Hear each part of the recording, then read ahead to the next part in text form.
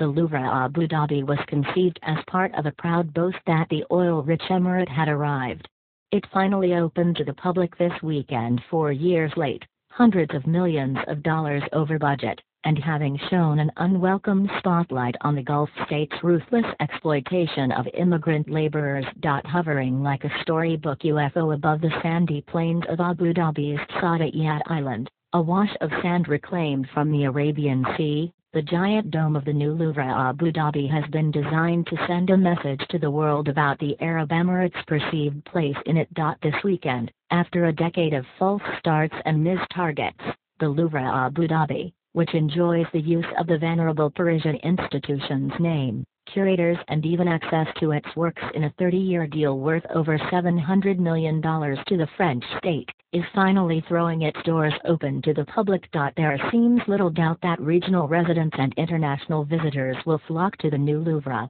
attracted as much by the elegant ambition of the building's French architect, Jean Nouvel, as the promise of viewing show-stopping works by artists as diverse as Ai Weiwei, Jackson Pollock, Mark Rothko, Henri Matisse, and Vincent van Gogh. But the opening of the Louvre is, perversely, calling attention to the horrendous abuses meted out to the migrant laborers, largely poor Indians, who do over 90% of construction work in the Middle East, and are routinely denied rights that would be considered a basic minimum in Western economies as well as drawing fresh attention the big picture failures and shortcomings of the Abu Dhabi government's Saadiyat Island project. Had things gone according to plan, it wouldn't just be the latticed cupola of the Louvre nestling under the bright blue Arabian sky this weekend. For Saadiyat Island was conceived as a dazzling global cultural center, first planned in the great oil boom of 2004 to 2007